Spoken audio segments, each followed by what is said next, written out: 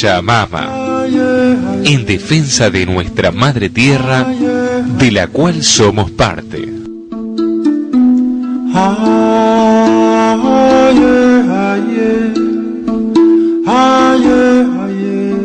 Presenta este espacio Vivero Pachamama, donde la flora nativa y las plantas medicinales se les da el amor que se merecen.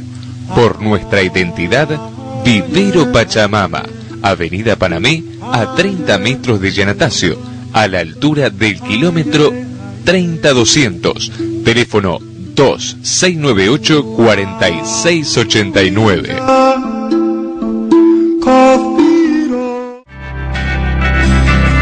Ciudades gigantes,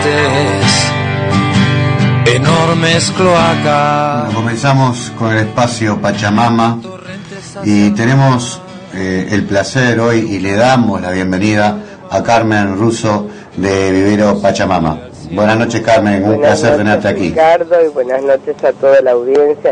Eh, hoy te citamos a que participara en ese programa porque tenemos un interés muy especial para que se conozca y poder difundir lo que son las plantas medicinales y, y hablar de una en específico, en otros programas hablaremos de otra, eh, la planta de, De graviola. graviola.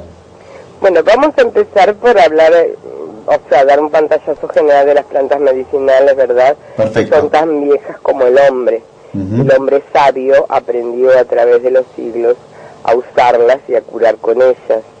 Y que, bueno, hoy por hoy son el, el, el alma de, de muchas tribus en, en toda América y en otros países selváticos donde se rigen pura y exclusivamente eh, por plan- con plantas medicinales para curar, ¿verdad? No utilizan nada más. Eh, bueno, la civilización nos ha llevado a que eh, esas plantas hayan sido estudiadas, hayan sido sintetizadas químicamente y hoy las tenemos en píldoras a través de los laboratorios, pero la esencia de, de, esa, de ese medicamento siempre va a surgir de una planta. Charlábamos contigo que el tema de la aspirina, ¿no? Que Claro, viene del el sauce. tema de la aspirina tan común que es la, se, se saca de la corteza del sauce. Digo, algo tan sencillo, ¿verdad? Si alguien tiene un un dolor de cabeza y no tiene una aspirina cerca, pero tiene un sauce, bueno, se mastica un pedacito de corteza de sauce y pronto se le va a pasar el, el- el dolor de cabeza. Y sin químicos. Este, las plantas medicinales es, es un tema eh, inmenso, eh, te podría decir que no tiene límite, ¿verdad? Y que inclusive eh, deben de existir muchísimas en el mundo, en esas selvas que yo te digo, no solo en América, sino en, en Australia en otros países que no tenemos conocimiento de ellas, que solamente las tribus de esos lugares las conocen. Este, tenemos, por supuesto, cantidad de plantas medicinales conocidas y muy usadas. Hoy por hoy la gente como que mm, ha vuelto un poco a todo lo que es natural en general y entre ello también ha vuelto a las terapias, o, o sea, todo lo que son terapias alternativas, entre ellos lo que es la fitoterapia, es decir, el uso de hierbas medicinales. Carmen, eh, te explico una de, de las razones de, de ese paso de, de la gente. Hoy por hoy nosotros hemos, hemos informado en, en algún espacio de que eh, hay hoy los laboratorios, lo- lo- los grandes farmacéuticas, Sí. este, están haciendo medicamentos que eh, buscan que, que- que sean crónicos el consumo de ese medicamento, pero realmente no curan. Claro. Y esa información está y la gente se va enterando y bueno, por eso vamos a, a las plantas medicinales que ahí no me van a estafar. Claro, volvemos al principio original, de- de- en definitiva, porque eh, el origen de todos los medicamentos, ya te digo, surgen de las plantas. O sea, el, el- el- principio fundamental, de- después se sintetizaron.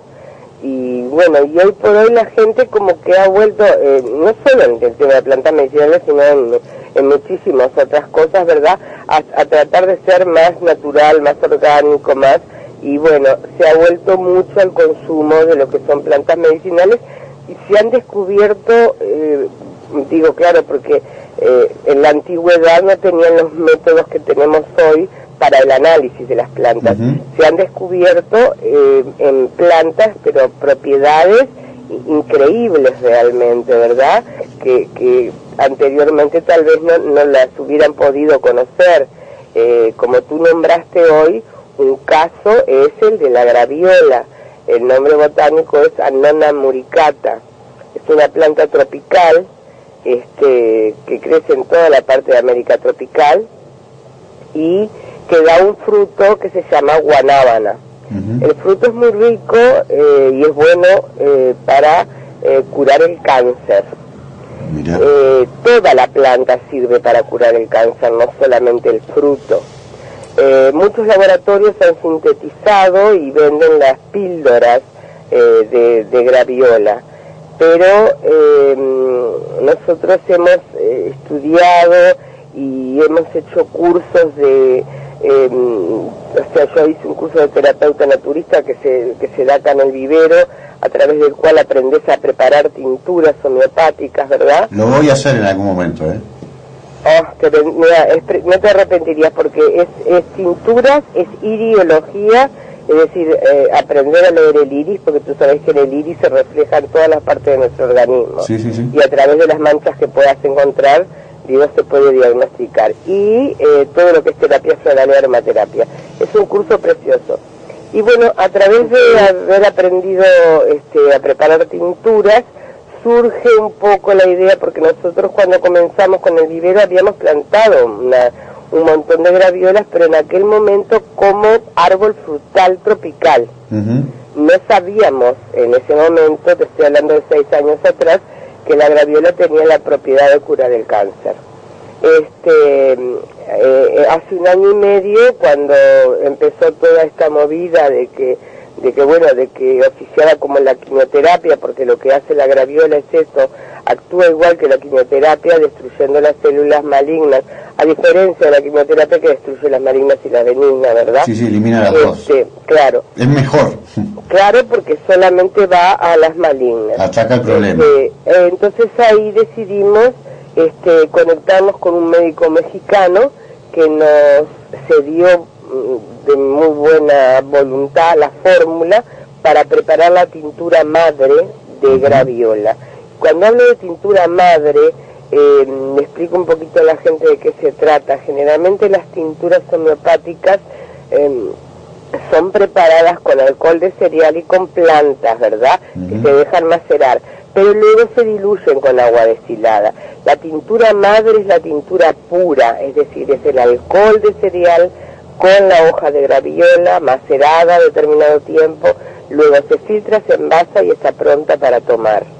Este, nosotros, eh, como se vendieron todas las plantas de graviola en su momento, nos quedamos sin plantas. Hoy por hoy, a través de una arboristería, eh, podemos importar hojas eh, desde Perú, compramos las hojas y preparamos la tintura de graviola.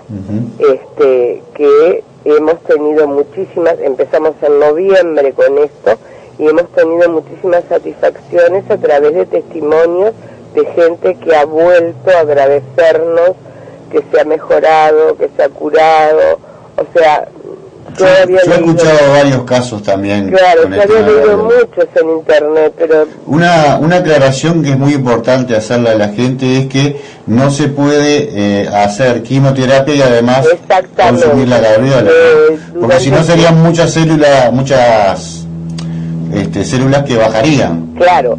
Eh, en el periodo de que la persona se está haciendo la quimioterapia no se puede tomar la graviola. La graviola está a tomarla después de terminada la quimioterapia o antes o como preventiva, digo, porque hasta se puede tomar como preventiva, ¿verdad? Sí, sí, sí, Este, y ya te digo, nosotros hemos tenido mm, varios directos, pues ya te digo, yo he, escuchado, he leído en internet, pero bueno, vos decís internet, escribe tanta gente que qué sé yo si es cierto o no nosotros hemos tenido la satisfacción de tener de vuelta, he vendido cientos de frascos, pero he tenido unos cuantos que han vuelto a decirme gracias porque estoy mejor o porque estoy bien. ¿Me entendés? Entonces, este, digo, creo que le debemos mucho a la madre naturaleza que nos da, nos da prácticamente todo. Eh, Carmen, yo conozco un caso concreto de, una señora, eh, conozco un familiar de ella, no a ella directamente, que después de haberse hecho quimioterapia, y los médicos le dijeron hasta acá llegamos, porque era ya no, no, aguantaba más el físico este seguir haciendo ese tratamiento. Entonces como que los médicos le dijeron, bueno, hasta acá. Y, era la misma que yo conozco de un tumor cerebral? Sí, tumor cerebral. Exactamente.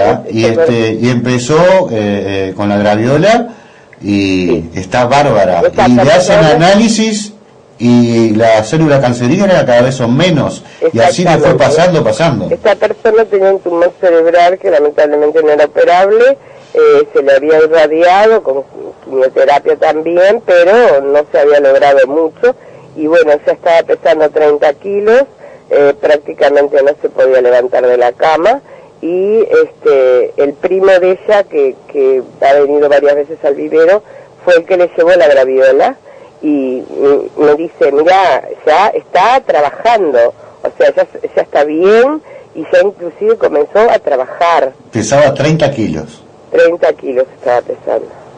Y bueno, y estaba desahuciada, por supuesto. Sí, sí, sí, Hemos tenido casos de pulmón, de próstata, de cáncer de mama, o sea, hay muchos.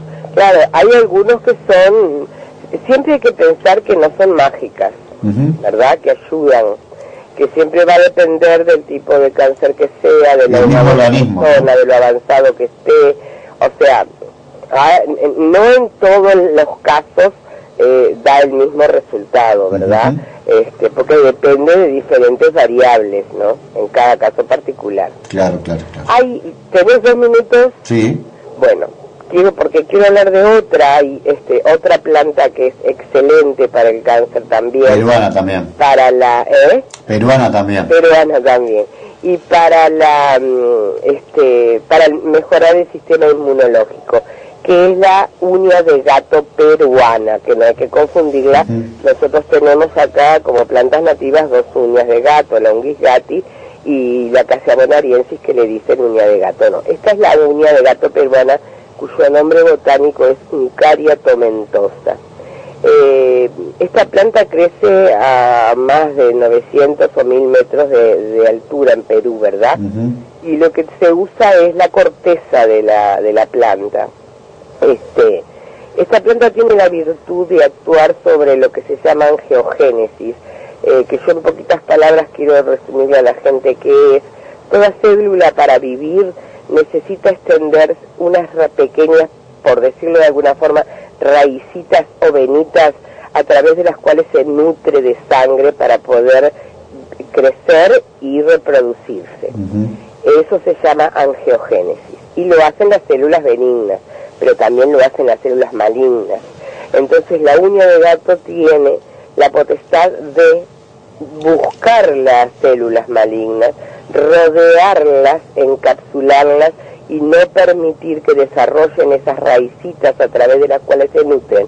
Al no poder alimentarse, quedan bloqueadas. Se queda, claro, se mueren. ¿Entendés? Mira qué bueno. Es una planta excelente también, que también la preparamos, estamos preparando la cintura, o sea, las que estamos haciendo son para el cáncer, este, porque a mí me interesan las plantas más que las cinturas, ¿no? Digo, en el caso de las cinturas lo hacemos porque eh, es difícil acceder a veces a, plantas que no son, no son, no están acá en nuestro país. Digo, ya te digo, yo las hojas de graviola las importo de Perú. Claro. Entonces, este, a través de la tintura, este, es más fácil para la gente. Por eso yo siempre digo que no hay que olvidarse de, de nuestra madre naturaleza que nos da, nos da todo, todo. Bueno, nosotros tenemos un espacio específico que se llama Pachamama y lo más lindo de todo que este espacio lo presenta Vivero Pachamama, al cual conozco hace muchos años y sé el amor que ustedes le ponen a lo que están haciendo. Y bueno, esto la gente se lo tiene que saber, porque estas cosas no se difunden, ¿no? No, Entonces, este... realmente nosotros digo el boca a boca nada más. Sí, sí, sí. Bueno, y marquemos un norte también. Bueno, yo te agradezco muchísimo la oportunidad, Ricardo, este y bueno, estamos a las órdenes por cualquier información, inclusive telefónicamente, o a través del mail nuestro, que es viveropachamama.com. Este, cualquier consulta sobre las, sobre las tinturas o sobre las plantas medicinales, este, estamos a las órdenes. Bueno, Carmen, un placer y te agradezco mucho. No, te doy las gracias a ti. Saludos a toda la audiencia. Un abrazo y saludos para todos allá. Buenas noches. Hasta luego fuerza. Como reliquias se pasean, solo paquetes de turismo son